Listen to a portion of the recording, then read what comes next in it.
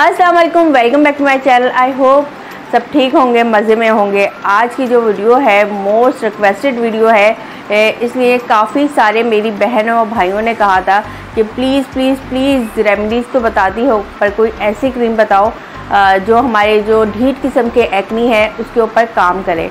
तो जी, आज जो मैं आपसे शेयर करने जा रही हूँ बहुत अमेजिंग क्रीम है, और मज़े की बात यह है, उसके कोई साइड इफ़ेक्ट नहीं है। एक्नी एक ऐसी प्रॉब्लम है जो बहुत कॉमन प्रॉब्लम है, और ये ज़्यादातर जो देखने में आती है 15 टू 25 की एज में। एक्नी होने की बहुत सारी रीज़न्स है पर मैं कुछ शेयर करूँगी। हमारी स्किन में एक ख़ास तरह का ग्लैंड होता है जिसे हम कहते हैं सबीशियस ग्लैंड जब वो हमारी स्किन में ऑयल प्रोडक्शन ज़्यादा शुरू कर देता है तो हमारे एक्नी स्टार्ट हो जाती है। और भी बहुत सारे रीज़न्स हैं जैसे हार्मोन डिस्टर्ब होना या स्ट्रेस होना।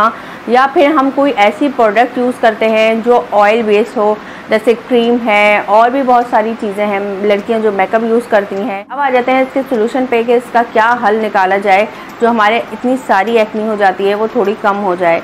जिसकी एक्नी बहुत ज़्यादा होती है, उसे चाहिए कि अपनी स्किन को बिल्कुल साफ़ रखे लाइक मॉइस्चराइज़र यूज़ करे क्लिनजिंग करे प्रॉपर और मॉइस्चराइज़र वो वाला यूज़ करना चाहिए जिसमें एलोवेरा हो। इसमें एलोवेरा भी एंटी बैक्टीरियल है।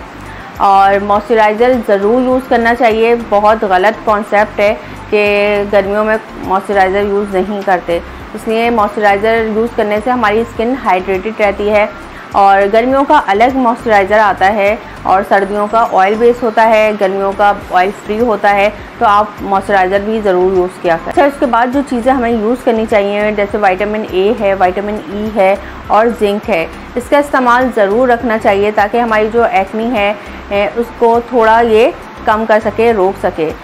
जिंक ज़रूर यूज़ करना चाहिए, जो हमारे नेल हैं, हेयर है, स्किन है, उसके लिए बहुत अच्छा होता है। अब आते हैं वो वाली क्रीम पे, जो मुझे जादुई क्रीम लगती है, इसलिए दो दिन के अंदर ये क्रीम आपके जो दाने हैं, वो बिल्कुल ख़त्म करने लगती है।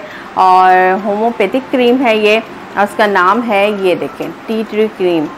बहुत बेस्ट है इसका रिज़ल्ट है। दो दिन के अंदर जो आपके एक्नी पिंपल होते हैं, उसको ख़त्म कर देती है और जो निशान होते हैं, उसको भी नहीं होने देती है। ये क्रीम आप ज़रूर यूज़ कीजिएगा और इसके कोई भी साइड इफ़ेक्ट नहीं है। कुछ भी नहीं है। बहुत अच्छी क्रीम है। अमेजिंग रिज़ल्ट हैं इसके। और उसके साथ साथ जो मैंने चीज़ें बताई हैं, आप जैसे विटामिन ए है, विटामिन ई है, जिंक है, ये भी यूज़ करें क्लेंजिंग करें मॉइस्चराइज़र करें और बाहर जाने से पहले सनस्क्रीन ज़रूर यूज़ किया करें। अब तो बहुत अच्छी अच्छी सनस्क्रीन आ गई हैं ऑयल फ्री गर्मियों के लिहाज से जो सनस्क्रीन है वो यूज़ करें। उसके बाद वाटर इनटेक ज़्यादा लें, वैसे भी गर्मियाँ हैं, पानी का इस्तेमाल ज़्यादा करना चाहिए और गर्मियों में वैसे भी एक्नी पिम्पल ज़्यादा होते हैं।